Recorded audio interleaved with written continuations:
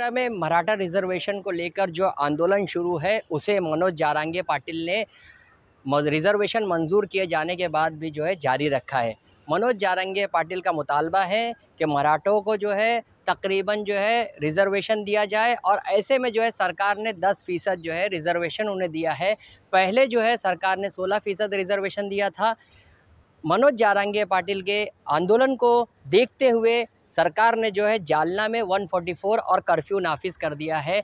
बता दिया आपको कि जालना में जो है दुकानें बंद कर दी गई है और तमाम जो है ऐसी चीज़ें जो है आम सरगर्मियाँ जो है पूरी तरह से मुतासर है। इस वजह से आंदोलन के सबब महाराष्ट्र भर में पचास से साठ जगहों पर जो है सड़क रोको आंदोलन किया गया और उसके बाद जो है इसमें तशद बर्पा हुआ। बता दिया आपको कि यहाँ जो है आग जनी हुई, पथराव किया गया, बसों को जलाया गया, जिसके बाद सरकार ने जालना में कर्फ्यू लगा दिया है। बता दिया आपको कि जिस तरीके से मनोज जारांगे पाटिल का डिमांड है, उसके बाद जो है महाराष्ट्र भर में जो है आंदोलन शुरू हो गया है। मनोज जारांगे पाटिल जो है भूख हड़ताल पर है और उनकी हालत जो है मुसलसल बिगड़ती जा रही है। इसकी वजह से मराठा बिरादरी भी जो है, न सिर्फ़ ये कि मुश्तिल हो चुकी है, बल्कि वो सड़कों पर एहतजाज भी कर रही है। जालना में जो है आम तमाम सहूलियात जो है पूरी तरह से मुतासर हैं, जबकि बता दें आपको कि जालना में इमरजेंसी खदमात अस्पताल, स्कूल्स और दूसरे जो इमरजेंसी खदमात है, उसको जारी रखा गया है।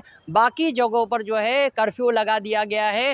मनोज जारंगे पाटिल ने जो है बम्बई आने का ऐलान किया था और ये कहा था कि वज़ी दाखिला और नायब वज़ी अला देवेंद्र फडनवीस के बंगले सागर पर जो है वो एहतजाज करेंगे। उसके बाद से ही पुलिस अलर्ट हो गई। महाराष्ट्र भर में सिक्योरिटी अलर्ट पर है। और मनोज जारंगे पाटिल के मुंबई आने पर पाबंदी आयद कर दी गई है। मुंबई दाखिले के वजह से जो है 144 लगाया गया है। और बता दें आपको कि मनोज जारंगे पाटिल बजिद है कि वो मुंबई आके रहेंगे। इस वजह से जो है, हालात पूरी तरह से कशीदा हो गए हैं और तशद बर्पा हो रहे हैं जगह जगह इसको सरकार कंट्रोल करने में जो है, नाकाम बताई जा रही है। बता दें आपको कि जिस तरीके से अलहदा रिजर्वेशन जो है, मराठा बिरादरी को दिया गया है, उस पर भी मनोज जारांगे पाटिल ने सवाल सवाल उठाए हैं और ये कहा है कि ये जो रिज़र्वेशन दिया गया है, ये सिर्फ़ दिखावा है और रिज़र्वेशन पर जो है अमल दरामद नहीं होगा, क्योंकि जो है रिज़र्वेशन, अलहदा रिज़र्वेशन दिए जाने की कोई गुंजाइश नहीं है। दूसरी तरफ़ ओबीसी लीडर छगन भुजबल भी जो है रिज़र्वेशन दिए जाने के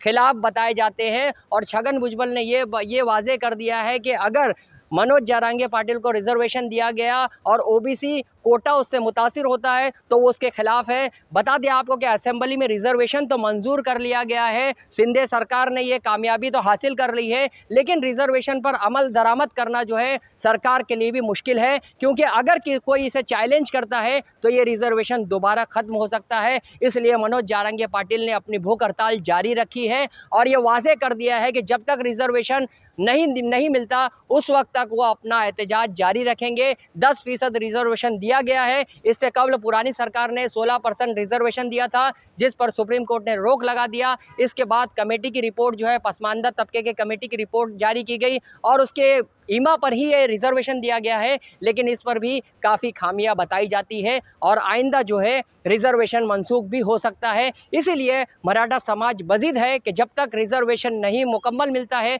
जब तक एहतजाज जारी रहेगा। जहाँ के इंसाफ की खास रिपोर्ट।